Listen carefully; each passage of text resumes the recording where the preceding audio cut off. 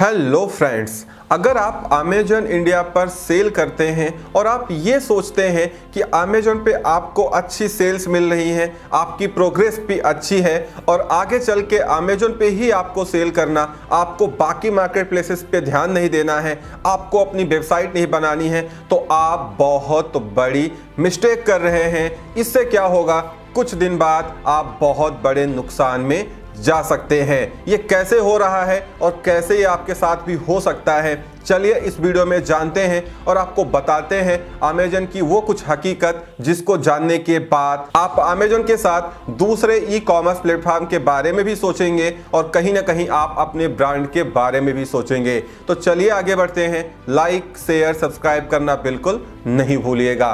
दोस्तों Amazon India में लगातार कुछ ऐसी एक्टिविटीज़ कर रहा है, जिससे वो जाँच के दायरे में रहता ही रहता है। आपको मालूम ही होगा कि अमेजन पे सर्च इंजन में छेड़खानी करने का आरोप पहले ही लगाया जा चुका है, जिसकी जाँच चल रही है। ऑलरेडी बहुत सारे केसेस इनके इंडिया में चल रहे हैं। हाल में ही 202 करोड़ की पेनाल्टी भी सीसीआई ने इनके ऊपर इम्पोज की है। साथ में सीएआईटी अमेजन को इंडिया में बंद करने की मांग कर रहा है। क्योंकि कहीं ना कहीं जो अमेजोन है दोस्तों, इसका जो मेन प्रॉफिट है, वो कमीशन लेवल पे नहीं होता, वो आइटम लेवल या इन्वेंट्री लेवल पे होता है। मतलब अमेजन अपनी तरफ़ से पूरी कोशिश करता है कि वो जो आइटम ज़्यादा बिक रहे हैं इंडिया में, वो उसकी कॉपी करके अपने ब्रांड से खुद बेचने लगे, क्योंकि उसमें उसका ज़्यादा मुनाफा होता है। इसीलिए एफडीआई के इतने स्ट्रिक्ट रूल्स होने के बावजूद भी ये लोग उन रूल्स का लूचपोल निकालते हैं और इस तरीके से अपने आप को मेंटेन कर रहे हैं इंडिया में कि ये अभी भी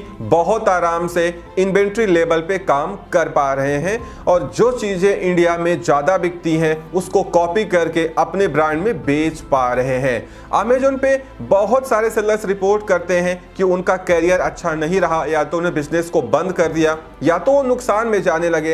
एक्चुअली इसके पीछे का रीजन मैं आपको बताऊँ। अमेजोन लगातार आपके प्रोडक्ट्स पे, आपकी लिस्टिंग्स पे नज़र बना के रखता है, और ये चीज़ देखता है कि आपका कौन सा प्रोडक्ट ज़्यादा बिक रहा है, किस स्टेट में बिक रहा है, और किस टाइप के कस्टमर उसको खरीद रहे हैं। अब अमेजन क्या करता है? धीरे धीरे उन प्रोडक्ट्स की कॉपी अपने यहाँ बनवाता है और उसको उसी स्टेट में अपने ब्रांड से सेल करना स्टार्ट कर देता है। अब आपको मालूम ही है, जो अमेजन के ब्रांड्स होते हैं, उनकी जो विजिबिलिटी है वो सुपर होती है, वो पहले पेज पे ही उनके प्रोडक्ट्स दिखाई दे जाते हैं।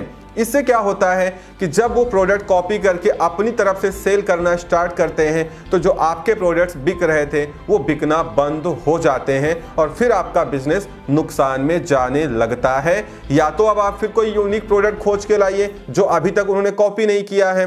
या तो फिर आप नुकसान सहने को मजबूर हो जाइए। इन सारी घटनाओं के बीच अमेजन अपने सेलर्स के साथ में बहुत सारे स्कैम भी करता रहता है, बहुत सारे गलत काम भी करता है। मेरे नज़रिए से जो मुझे लगता है, अब क्योंकि रिसेंटली इन्होंने रीजनल डिस्कवरी पॉलिसी को इम्प्लीमेंट कर दिया, जहाँ पे सेलर की लिस्टिंग उसी रीजन में दिखाई देगी, जहाँ से वो सेल कर रहा है। बाकी के स्टेट्स में वो उनकी लिस्टिंग्स को बंद कर रहे हैं या उनकी विजिबिलिटी को प्रभावित कर रहे हैं। साथ में इन्होंने कह दिया कि अगर आपको बाकी क्लस्टर्स या स्टेट्स में जाना है तो आपको वहाँ का जीएसटी नंबर लेना पड़ेगा और हमारे एफ़ बी वेयर हाउस में आइटम भेजना पड़ेगा। बहुत सारी ऐसी एक्टिविटी ये करते हुए आ रहे हैं। जिससे जो स्मॉल मीडियम स्केल सेलर हैं या जो लोग अमेजन इंडिया पे अच्छा काम कर रहे थे, अब उनकी भी सेल्स डाउन होती जा रही है। तो इस तरीके से अमेजन इंडिया में सेलर्स के बिज़नेस को हैम्पर करता है।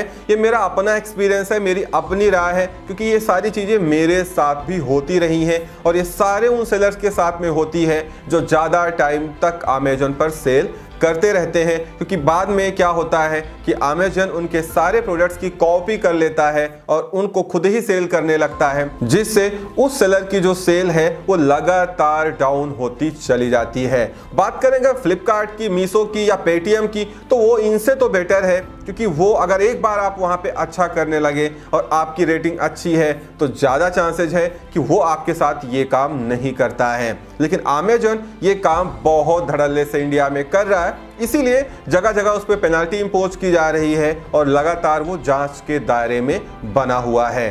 तो अगर आप अमेजोन इंडिया पर सेल करते हैं और आप सोचते हैं आप सिक्योर हैं तो मुझे तो नहीं लगता आप सिक्योर हैं। इसीलिए आप अमेजोन के साथ ही साथ फ्लिपकार्ट मीसो या जितने मार्केट प्लेस हैं, उनको ट्राई करें और कोशिश करें कि आप अपनी वेबसाइट बनाएँ और अपने प्रोडक्ट्स को अपनी वेबसाइट पर लिस्ट करें और धीरे धीरे उन पर एड्स चलाएँ और अपनी ब्रांड वैल्यू को बढ़ा के वो सारे कस्टमर्स आप अपनी वेबसाइट पे ले आए, जिससे वो हमेशा आपके साथ जुड़े रहे, क्योंकि इनका कोई भरोसा नहीं है। तो इस तरीके से अगर आप अपनी ई कॉमर्स बिज़नेस पॉलिसी को मेंटेन करेंगे, तभी आप इस मार्केट प्लेस में सस्टेन कर पाएँगे। अदरवाइज़ अगर आप अमेजोन के भरोसे बैठ जाएँगे तो फिर आप बहुत नुकसान में जा सकते हैं। इसीलिए अमेजोन के साथ साथ आप बाकी चीज़ों को भी सोचिए और अपने ब्रांड के वैल्यू को बनाने के लिए भी आप ट्राई करें, कोशिश करें कि कैसे आपकी ब्रांड वैल्यू इंडिया में बन पाए। तो इस वीडियो में इतना ही। उम्मीद करता हूँ वीडियो पसंद आई होगी तो लाइक एंड शेयर करिएगा।